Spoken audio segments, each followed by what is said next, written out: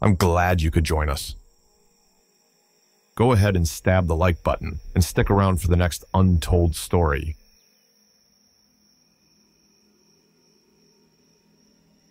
In the late fall of 2020, Ethan Carter and his longtime friend Mike Johnson set out for a weekend hunting trip in the dense forests of northern Maine. Both men were experienced hunters and had been navigating these woods since they were young.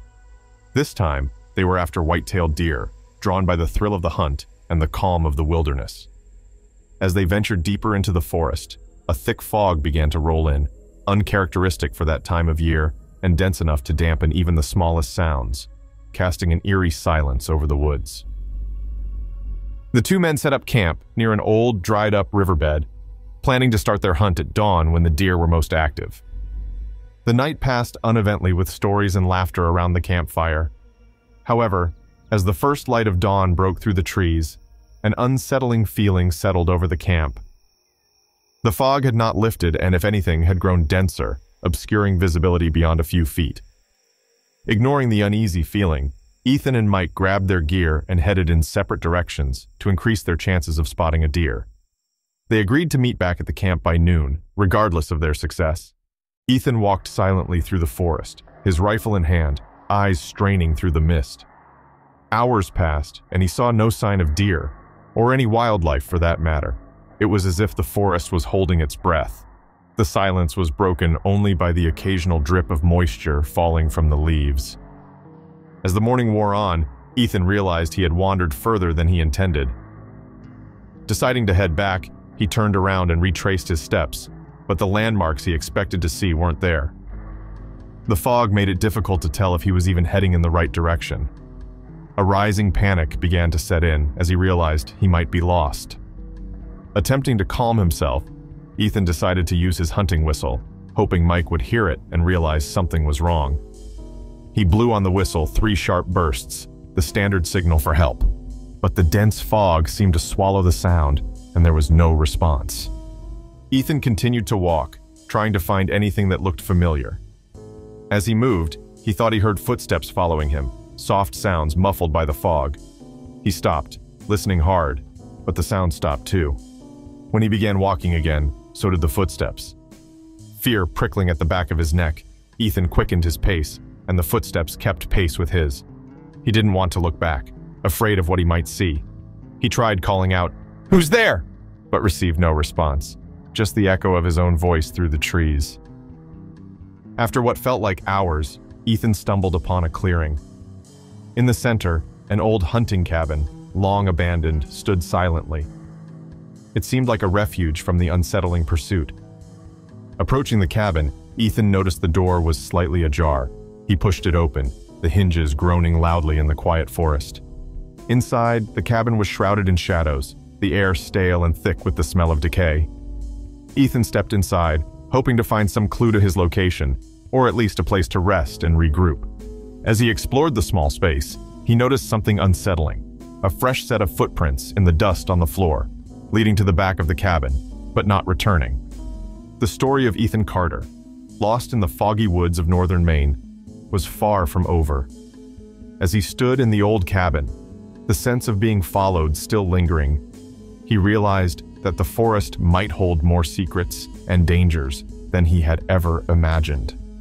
What lay ahead in the back of the cabin could hold the key to his escape or deepen the nightmare of his lost hunting trip.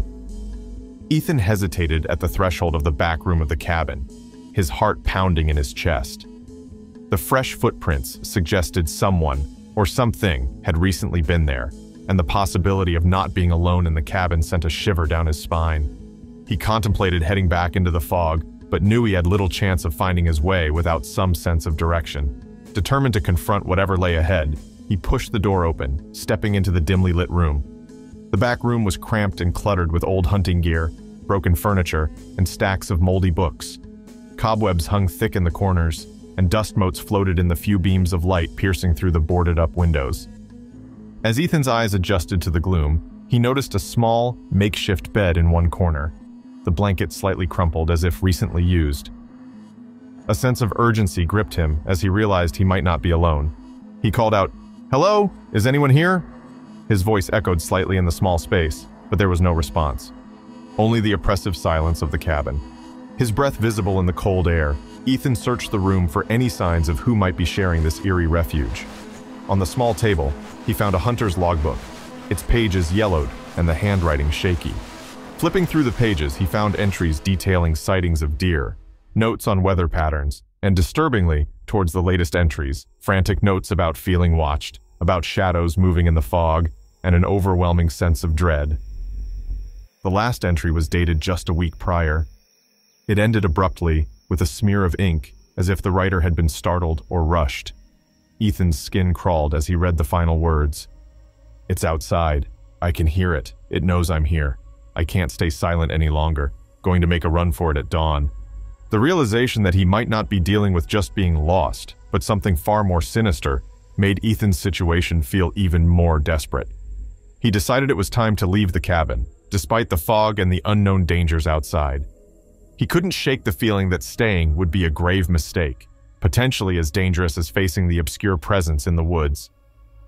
As he stepped back into the main room of the cabin to gather his backpack, the chill seemed to deepen, a cold that seemed to seep into his bones. He felt an overwhelming urge to look over his shoulder, but every time he did, there was nothing but the empty, silent cabin. With his backpack slung over his shoulder, Ethan cautiously opened the cabin door, peering into the fog. The world outside seemed motionless, the fog as thick as ever. He took a deep breath, stepped outside, and carefully closed the door behind him. The silence of the forest was suddenly broken by a distant scream, a human scream, filled with terror and pain. It was coming from the direction of the campsite where he had split up with Mike. Heart racing, Ethan forgot his own fear for a moment and started running towards the sound, his thoughts now focused only on finding Mike and ensuring his friend's safety. The story of Ethan Carter, lost and haunted in the depths of the Maine woods, was far from over. As he ran through the fog, every shadow seemed to shift, every sound a threat. The forest held its breath once more watching as Ethan plunged deeper into its dark heart. Ethan raced through the dense fog, the eerie silence punctuated only by the occasional echo of his own footsteps. The underbrush scratched at his legs, and the branches snagged his jacket as he pushed his way through the woods, driven by the chilling scream that had shattered the quiet of the forest. His mind raced with possibilities of what might have happened to Mike, and with each possibility, his dread deepened. He stumbled into a small clearing and paused, trying to catch his breath and listen for any sounds that might guide him. The fog was slowly beginning to lift, allowing faint beams of morning light to filter through the trees. It was in this ghostly half-light that Ethan saw it. Mike's rifle lying on the ground, abandoned, the stock partially buried under a pile of wet leaves. A sense of panic overtook him as he picked up the rifle, finding it still loaded. Mike would never leave his weapon behind voluntarily, especially not loaded and ready to fire. Ethan called out, Mike! Mike, where are you? But the forest returned only silence. He moved forward, deeper into the woods, following what appeared to be signs of a struggle. Broken branches, disturbed earth, and here and there, drops of blood that had begun to darken against the forest floor. The trail led him to the edge of a steep ravine, the bottom obscured by the lingering fog. As Ethan approached the edge, peering down into the murky depths, he heard it again, a faint pained groan coming from below. Without hesitation, he began to climb down the ravine, using tree roots and rocks as handholds, desperate to find Mike. Halfway down, Ethan lost his footing, sliding several feet before managing to grab a sturdy root. His heart pounded as he clung to the earth, regaining his composure before continuing the descent. The groan had not sounded again, and the silence was now complete, as if the forest itself was holding its breath. Finally reaching the bottom of the ravine, Ethan found Mike, badly injured but alive. His leg appeared broken, and his face was pale from pain and blood loss. I tried to climb out after it happened. Mike gasped, his voice weak. It came out of nowhere, Ethan. It wasn't an animal, I swear. It was like a shadow, like something that didn't belong here. Ethan tried to calm him, checking the wound on Mike's leg and using his first aid kit to bandage it as best he could. We're going to get out of here, he assured Mike, though he himself wasn't sure how they would manage the climb back up. As he supported Mike to his feet, trying to figure out their next move, a chilling wind swept through the ravine. The trees above rustled violently, and a dark shape darted through the peripheral of Ethan's vision. Just a shadow, yet unmistakably sentient. Ethan turned toward the movement, Mike's rifle ready in his hands. The forest fell silent once more, a suffocating, pressing silence.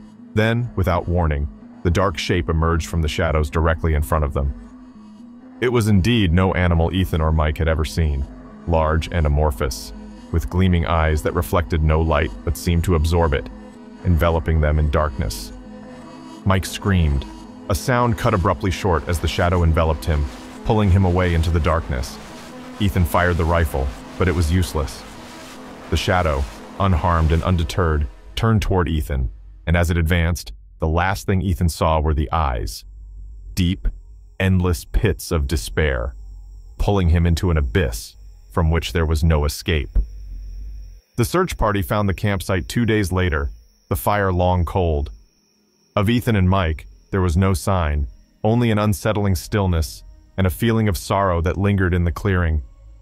Their disappearance remained a mystery, another dark legend of the northern Maine woods, whispered about in the glow of campfires by those who dared to tread in the forest's deep and ancient heart.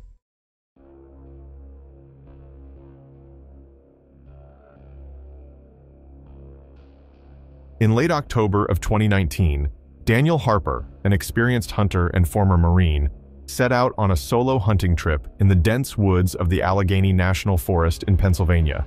The area, known for its vast wilderness and abundant game, was a place Daniel had visited many times before, often returning with stories of nature's quiet beauty and the thrill of the hunt.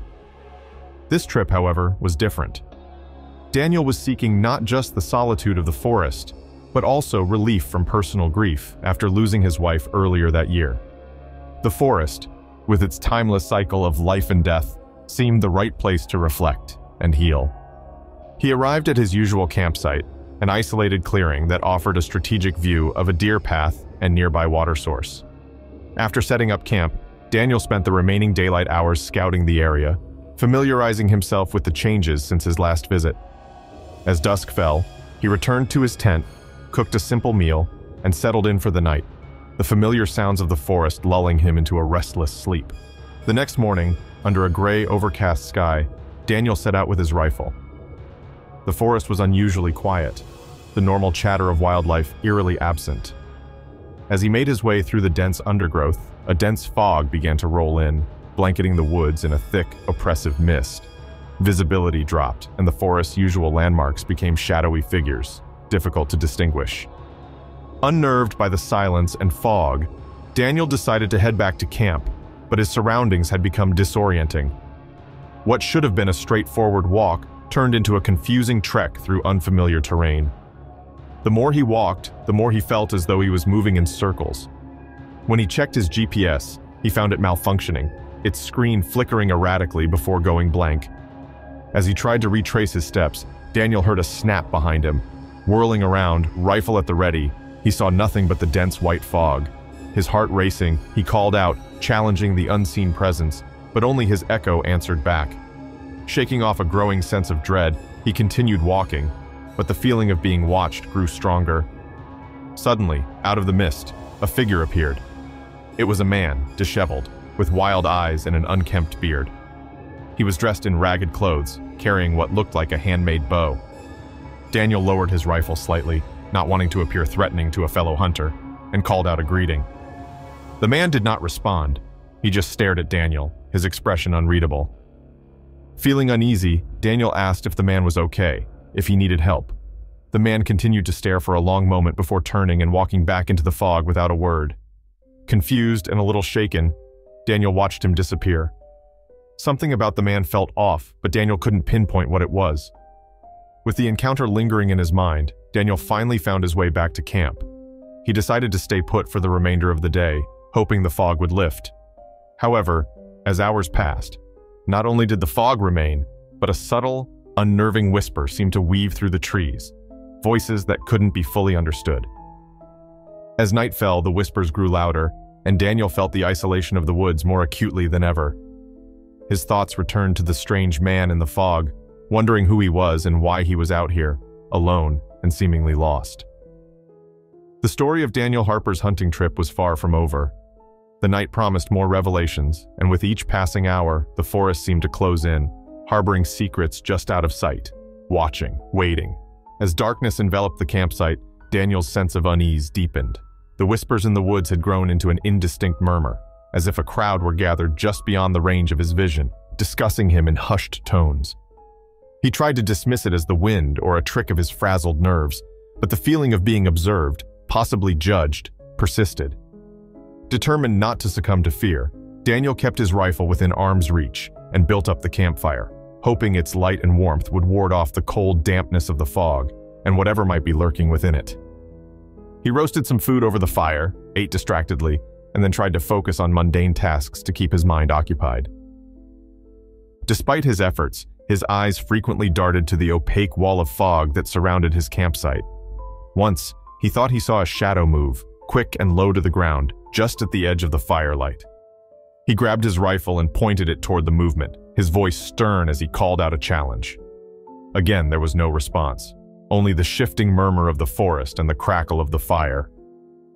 Unable to sleep and unwilling to let down his guard, Daniel spent the night sitting by the fire, his eyes scanning the darkness, his ears straining to decipher the eerie sounds around him. As the hours crawled by, the temperature dropped, and the fog seemed to press closer, denser, as if it were slowly suffocating the clearing. Just before dawn, when the blackness seemed most oppressive, a sudden sharp cry, a human scream, shattered the silence, coming from the direction deeper into the woods. It was filled with such terror and pain that Daniel stood up instinctively, grabbing his rifle. His first thought was of the disheveled man he'd encountered earlier. Could he be in trouble? Or was it someone else, perhaps another lost soul wandering these cursed woods? With no plan but driven by a mix of fear and a compulsion to help, Daniel stepped into the fog, following the direction from which the scream had emanated. His flashlight barely penetrated the mist, and the ground underfoot was slick with moisture and fallen leaves, making every step a risk. As he moved away from the safety of the firelight, the murmur of the forest grew into discernible voices, speaking a language he couldn't understand. It was as if the woods themselves were alive, whispering secrets about this intruder in their midst. Daniel's heart pounded in his chest, each beat echoing loudly in the silent fog. He had walked for what felt like miles when he stumbled upon a scene that froze him in his tracks. There, in a small clearing, was the man he had seen before, kneeling on the ground, his head thrown back in a posture of despair. Surrounding him were figures cloaked in shadows, their forms blurred and shifting as if made of the fog itself. They were chanting in a rhythmic, hypnotic tone, their voices intertwining with the whispers of the woods. Daniel aimed his rifle at them, his voice hoarse as he demanded they step away from the man. The figures turned towards him slowly, their faces obscured and indistinct. As they moved, the temperature seemed to drop further, and Daniel's breath came out in visible puffs of white vapor. The figure's eyes, if they were eyes, gleamed in the dim light, reflecting no light but seeming to glow from within. Frozen with indecision, Daniel watched as the figures continued their eerie chant, stepping closer to him and the man.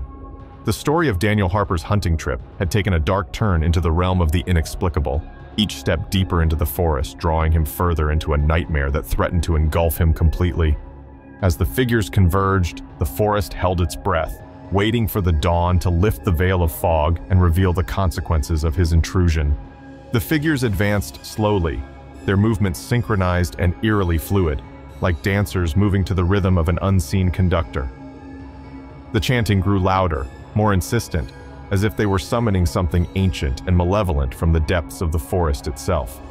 Daniel's hands shook as he aimed his rifle at the nearest figure, his finger trembling on the trigger.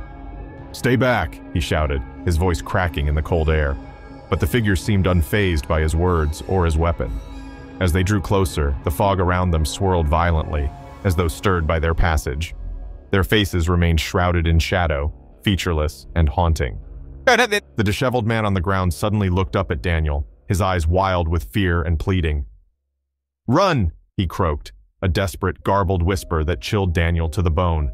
But before Daniel could react, the man was swallowed up by the figures, disappearing into the mass of shadows, as if he had never been there at all. Panic surged through Daniel's veins, his survival instincts screaming at him to flee. He turned and ran, stumbling through the underbrush, his heart pounding in his ears. The chanting of the figures followed him, a haunting melody that seemed to echo through the trees, growing louder with each step he took. He ran without direction, the forest around him a blur of dark shapes and swirling fog. Branches whipped at his face, roots tripped his feet, but fear propelled him forward, away from the nightmare behind him. Just as he thought he might escape, a root caught his ankle, sending him sprawling to the ground. Scrambling to his knees, Daniel turned back to see the figures emerging from the mist, their forms clearer now, more solid and terrifying. They were no longer just shadows. They had substance, and their eyes glowed with a sickly, unnatural light. The chanting stopped, replaced by a deep, resonant hum that vibrated through the ground. Frozen in fear, Daniel could only watch as the figures surrounded him, their faces inches from his. What he saw then would haunt him for the rest of his life. Faces not human, but monstrous, twisted in expressions of hatred and hunger, their eyes bottomless pits of darkness. As they closed in, Daniel felt a coldness seep into his bones, a darkness enveloping his mind. He tried to scream, but no sound came out. He tried to move, but his body wouldn't obey. The last thing he saw before the darkness consumed him completely was the morning light finally breaking through the trees. A cruel reminder of the day he would never see. When the search party found Daniel's campsite days later, it was untouched, his belongings scattered as if he had left in a hurry. Of Daniel Harper, there was no trace, no sign of a struggle, no footprints leading away.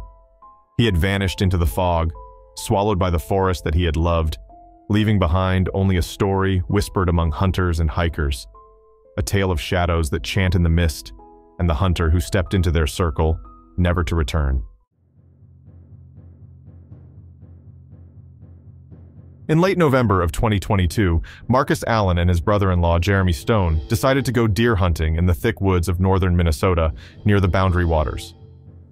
Both men were experienced hunters and familiar with the wilderness, but neither was prepared for the turn of events that would transform their routine hunting trip into a fight for survival. On the first day, they set out early from their small cabin with high hopes. The crisp morning air was filled with the promise of snow, and the recent tracks in the fresh dusting suggested a lot of deer activity. The two split up to cover more ground, agreeing to meet back at a designated spot by dusk. As Marcus ventured deeper into the woods, he felt a sense of unease that he couldn't shake. The forest, usually teeming with the sounds of wildlife, was eerily quiet, the silence punctuated only by the occasional creaking of heavy branches under the weight of the snow. The quiet was unsettling, but Marcus pressed on, attributing his nerves to the overcast sky and the oppressive feeling of an impending snowstorm. Around midday, Marcus heard a strange noise, a kind of whistling sound, high-pitched and unnatural, that seemed to come from all directions. He stopped, scanning the dense brush, but saw nothing. The sound continued intermittently, fading as he moved toward it, then appearing again behind him. Confused and increasingly alarmed, Marcus decided to head back to the meeting point earlier than planned, worried that the weather was about to turn or that something was wrong in the woods. As he retraced his steps, the snow began to fall more heavily, the wind picking up and whipping the flakes into thick curtains that obscured his vision. The familiar landmarks he had noted on his way out now appeared distorted and unfamiliar, shrouded in the growing blizzard. Realizing he might be lost, Marcus tried to call Jeremy on his walkie-talkie, but the only response was static. Panic began to set in as the light started to fade, swallowed by the heavy clouds and falling snow. Marcus knew he had to find shelter and build a fire or risk hypothermia. He found a somewhat sheltered spot under a large spruce tree and started to gather wood, his hands numb and clumsy with cold. As he was about to strike a match, the high-pitched whistling sound returned, louder than before, and this time it was accompanied by a rustling in the bushes nearby. Marcus turned towards the noise, his heart racing, and through the swirling snow, he glimpsed what looked like a figure standing just at the edge of visibility. It was too large to be a deer, and too still to be another hunter. Frightened but desperate for answers, Marcus called out, Who's there? Jeremy, is that you? The figure didn't move or respond. Marcus squinted, trying to make out details through the snow, but just as he took a step forward, the figure vanished, as if it had melted into the snow. Now, with darkness setting in and the storm intensifying, Marcus realized he was dealing with more than just a lost path. The story of his hunting trip was far from over, and the mysterious figure in the snow might hold the key to his survival, or something far worse. As the cold deepened and the whistling resumed, Marcus understood that the night ahead would be a test of all his wilderness skills, and perhaps his courage against the inexplicable. Huddled beneath the spruce, Marcus hastily struck his match, his hands shaking as the flame flickered perilously close to his fingers before finally catching on the small pile of tinder he had gathered. The fire took hold slowly, the wet wood hissing and popping as the flame fought to survive in the driving snow. Each snap and crackle of the firewood seemed unnaturally loud in the enveloping silence of the snowstorm. With the fire providing a meager source of warmth and light, Marcus tried to gather his thoughts. The eerie figure he had seen could have been a trick of the light, his mind playing shadows against the snow. He tried to convince himself of this, but the persistent whistling sound sliced through the howling wind, challenging his rational explanations. The night deepened, the snow fell harder, and Marcus knew he was in for a long, cold vigil. He couldn't risk moving through the blizzard to find the cabin or Jeremy. His best chance was to stay put, maintain the fire, and wait for the storm to pass. Throughout the night, he fed the small fire, his eyes darting nervously to the shadowy edges of the firelight, half expecting to see the mysterious figure reappear. Every so often, the whistling would return, now seemingly closer, then moving away, a taunting, haunting melody that seemed almost human but distorted, as if carried through water. Marcus tried once more to reach Jeremy on the walkie-talkie, his voice barely above a whisper, not wanting to attract unwanted attention from whatever might be out there. Again, there was no response, just static that seemed to merge with the sounds of the storm. As dawn approached, the intensity of the storm began to lessen, the snow falling more gently now, the wind dying down to a mournful moan. Exhausted but unable to sleep, Marcus stood and stretched, his body stiff from tension and cold. He decided to use the early morning light to try and locate the cabin, or at least find some sign of Jeremy. He doused the fire, packed his gear, and set out into the dim light of dawn, the landscape transformed into a white blanket, smooth and undisturbed except for the deep impressions of his own boots around the now dead fire. The whistling had stopped, and the silence felt oppressive, heavy with unspoken threats. Marcus trudged through the snow, following what he hoped was the direction back to the cabin. His mind replayed the previous day's events, trying to piece together a map from memory. His focus was so intent on his path that he almost missed it. A fresh set of footprints in the snow, not his own, leading away from the area of his makeshift camp. Heart pounding, he followed the tracks, which appeared human but were oddly spaced, as if whatever had made them was struggling or injured. The tracks meandered, sometimes circling back on themselves, creating a confusing, chaotic pattern. They led deeper into the woods, away from any path Marcus recognized. Compelled by a mix of concern and a desperate need for answers, Marcus followed the tracks. The forest seemed to watch him, the trees whispering secrets he couldn't understand. As he rounded a thick grove of pines, the tracks abruptly ended, and Marcus halted, scanning the area for any sign of what had made them. It was then he heard it, a soft, whimpering cry, like that of a child, coming from a nearby thicket. The sound was so unexpected, so out of place in the desolate woods, that Marcus felt his skin crawl. With a mixture of fear and resolve, he stepped toward the sound, his hand on his rifle, ready for whatever he might find. The story of Marcus Allen, lost and alone in the snow-covered wilderness, was far from over. His discovery in the woods would only deepen the mystery and danger of his hunting trip gone wrong, pulling him further into the unknown. Marcus cautiously approached the thicket, every sense alert. The soft crying continued, a pitiful sound that tugged at his heartstrings, yet sent waves of dread through his body. Parting the branches, he peered into a small clearing and froze, his breath catching in his throat. There, huddled against a tree, was a small child, no older than five or six, dressed in a thin, tattered nightgown that offered no protection against the cold. The child's skin was pale, almost translucent, and her eyes, when she looked up at Marcus, were wide and filled with an unfathomable sadness. Help me, she whispered, her voice barely audible over the rustling of the leaves. Marcus was stunned. How had a child ended up here? so far from any trail or sign of human habitation. His mind raced with possibilities, all of them sinister, and none offering a comforting explanation. He knew he needed to act quickly. The child needed warmth and shelter immediately. It's okay, I'm here to help you, Marcus said softly, extending his hand to her. As he helped her to her feet, the child's hand felt unnaturally cold, her grip surprisingly strong. How did you get here? Marcus asked, looking around the clearing for any sign of her tracks. But there were none, except for the ones he had made himself. The child did not respond, only stared up at him with those haunting eyes.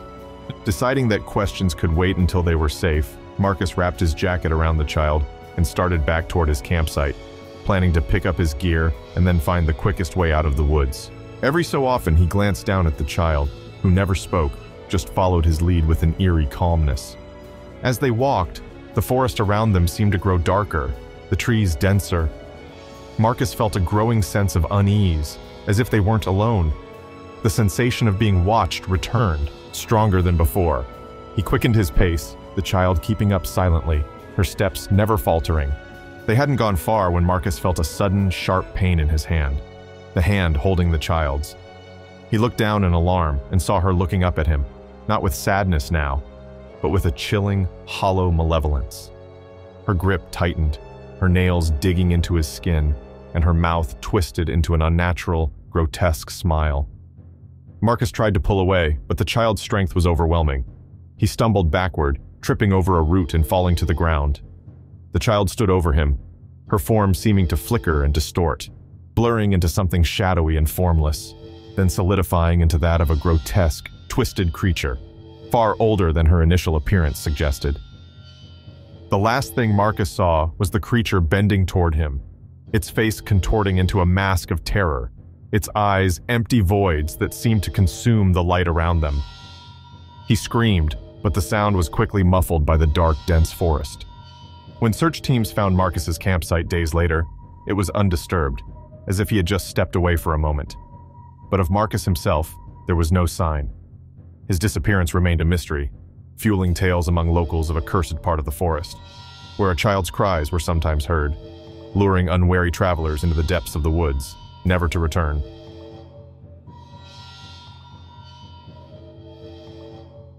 Thank you for listening. Now watch this video,